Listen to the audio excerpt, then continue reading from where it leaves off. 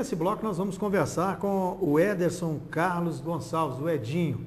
Ele é patrocinense, nascido e criado aqui no bairro Morada Nova, mas já está ganhando o mundo aí, praticando a arte da capoeira, professor da capoeira. Edinho, é um prazer tê-lo aqui no nosso programa. Eu queria que você contasse para a gente, assim, de início, como é que começou a capoeira, né? Se, se você conhece essa história.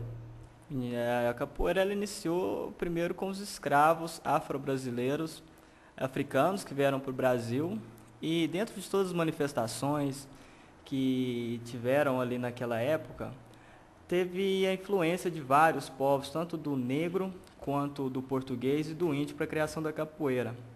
E mesclando tudo isso, eles misturaram um pouco de danças africanas, de rituais indígenas e mais algumas improvisos que os portugueses traziam, trouxeram, né? Então, mesclando tudo isso, eles criaram uma luta diferente de todos os outros lugares, que também tinha escravos, tanto na América do Norte quanto em outros países, e deu início aos primeiros movimentos de capoeira, hoje chamada de capoeira primitiva, né? A gente é, sabe que, to, quer dizer, quem gosta, né, é, já começa desde a infância e tal, Muitas vezes os pais levam, inclusive no programa de hoje, nós vamos até reprisar uma matéria que fizemos lá no ano de 2004, por aí, é, aqui em patrocínio, com crianças aprendendo capoeira e tal, no próximo bloco. Mas é, quem pode jogar capoeira? Até que idade a pessoa pode jogar capoeira? Hoje a capoeira, a criança pode iniciar com dois anos. Tenho criança que treina capoeira comigo com dois anos de idade não tem limite de idade, pela é, as derivações que a gente faz da capoeira hoje. Hoje tem a, desde a capoeira infantil, que é ensinada para crianças, até a capoterapia, que é uma terapia que foi criada com movimentos de capoeira para a terceira idade. E tem também, é, acrescentando que qualquer um pode praticar capoeira, tem a capoeira especial também, que é um trabalho que a gente desenvolve aqui na cidade há um pouco mais de três anos com os alunos do APAI que adapta os movimentos da capoeira para os portadores de Down, para cadeirantes e por aí vai todo esse público. Então, nesse caso, por exemplo, quem tem mais de 50, 60 anos pode jogar a capoeira? Com toda certeza. Com certeza é indicado e com tranquilidade também, né? Não precisa preocupar se é, se vai ter algum problema de saúde ou não. Primeiramente, claro, indicar, é bom procurar um médico antes de estar iniciando, né? Para atividade física. Para atividade né? física. Mas é recomendado, eu recomendo e aprovo a prática da capoeira para esse público. Inclusive o criador da capoeira no Brasil, acho que pratica até hoje, né? É o, os filhos e os alunos, né? Que a capoeira, ela tem então... Criador no Brasil não, mas assim, esse que transformou numa numa arte marcial, vamos dizer assim. Ele pegou aquele, aqueles movimentos da capoeira primitiva que a gente comentou antes, né? E englobou alguns outros movimentos, como a luta do batuque, que, é, que hoje está extinta, e fez todo uma, é, um processo. Dentro desse processo, ele começou a praticar capoeira dentro de academias, que foi Manuel dos Seis Machados, mais conhecido como Mestre Bimba. E ele ainda é vivo. Não, ele já morreu, já morreu. Ele já morreu. Porém, é, com toda essa organização que ele fez, ele fez apresentações para vários políticos importantes. Na época, é, ele fez uma apresentação para o presidente Getúlio Vargas, que foi a visita na, na Bahia. Era proibido, né? Na época era proibido, estava no Código Penal. Ela era considerada como capoeiragem e vadiagem, cadeia. Aí ele conseguiu lá. Então, depois dessa assistiu. apresentação, o presidente assistiu e está liberado, isso é muito bom. E a partir daí ela começou a crescer e hoje não parou mais. Tem muitos alunos dele, tem o mestre acordeon, tem o mestre camisa, tem outros discípulos mais distantes, como o mestre Suassuna. E tem o, os filhos adotivos dele, que ele tinha alguns, mestre Onça, que está com quase 90 anos e joga capoeira. Tem o mestre Nenel, que é filho dele, está na Bahia também joga capoeira. Então tem muitos aí. Você está, inclusive, embarcando agora nesse domingo né, para o exterior. Você já esteve na França, ficou lá na Europa três meses, foi na Espanha, exatamente trabalhando com isso, com a capoeira. Né? Como é que foi essa experiência?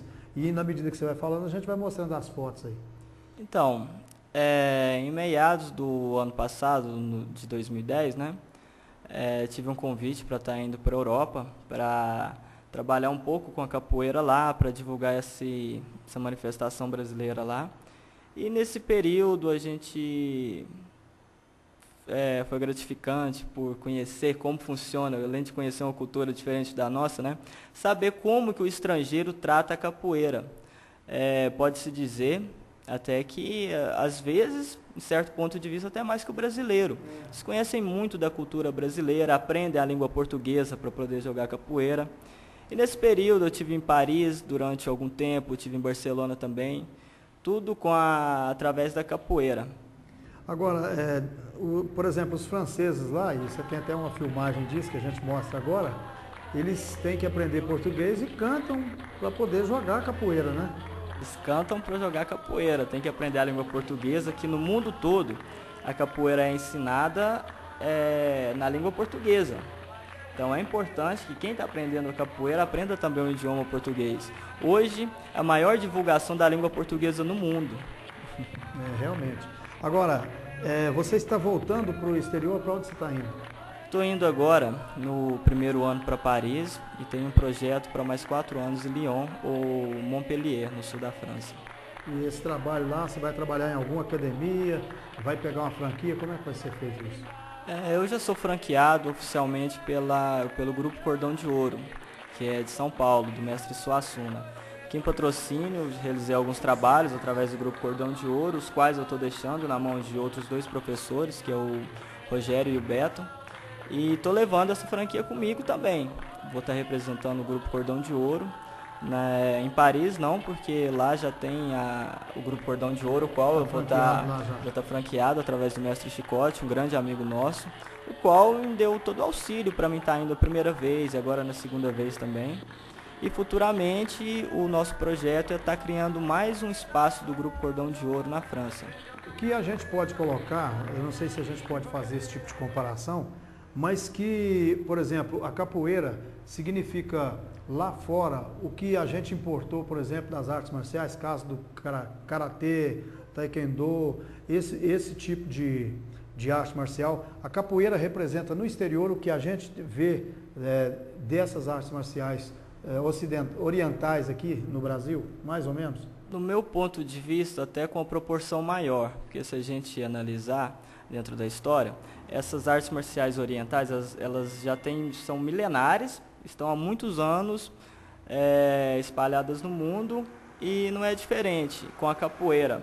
A diferença é que a capoeira tem menos de 100 anos que ela foi liberada. Ela foi liberada na década de 60.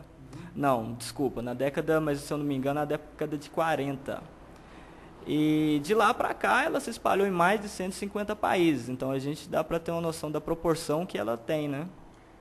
Edinho, você tem algum tipo de agradecimento? Pessoas que te ajudaram, que estão te ajudando, parceiros? Como é que funciona? Olha, a gente tem uma parceria com a Prefeitura, com a Administração Municipal, através da Secretaria Municipal de Cultura, ao qual eu agradeço todo o apoio que sempre deu à capoeira e ter acreditado no nosso trabalho. Agradeço às crianças, aos pais e também um agradecimento especial ao meu mestre, Pantera, que está em Barcelona, há algum tempo a gente está com ele. Também quero deixar é, um abraço para as pessoas que ficam no meu lugar, que é o instrutor Beto e o instrutor Rogério. Ok, Edinho, obrigado pela sua participação aqui no nosso Hoje Magazine TV. Sucesso para você nessa nova viagem aí para o exterior. E parabéns porque você está divulgando a nossa cultura, a nossa arte e o nosso povo no exterior, né? Quando voltar, volte aqui para contar para a gente como é que foi. Com certeza, eu agradeço, Luiz, é, esse apoio que a imprensa sempre deu para a capoeira aqui em patrocínio. E também agradeço aos. É, aproveito né, que estou de despedida, né? Agradeço primeiramente aos meus alunos, né, que são mais de 600 aqui na região, entre crianças especiais e adultos. E deixo também é, o recado que não importa o que, que a criança faça, né? o importante é que ela faça um esporte e que se dedique, né? Porque eu acho que o importante é a gente dedicar a alguma coisa que a gente vai ter sucesso. Você tem site?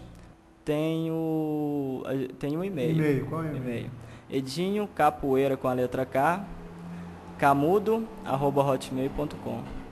Sindicato Rural e Prefeitura de Patrocínio apresentam Expo Patro 2011, de 6 a 10 de abril. Dia 3, Cavalgada do Produtor com shows de Paulo Andrade e homenagem ao Sr. João Marra.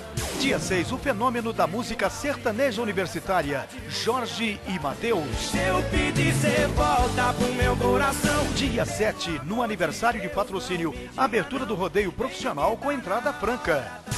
Dia 8, pela primeira vez em patrocínio, J Quest. É pra lá que eu vou. Dia 9, Chico Rei e Paraná. Dia 10, show Evandro Cordeiro, encerramento do rodeio e show pirotécnico. E tem ainda leilões, exposição de gado, provas equestres, boate, parque de diversões, praça de alimentação, som automotivo, concurso de muares e muito mais. Expo Patro 2011 é diversão garantida.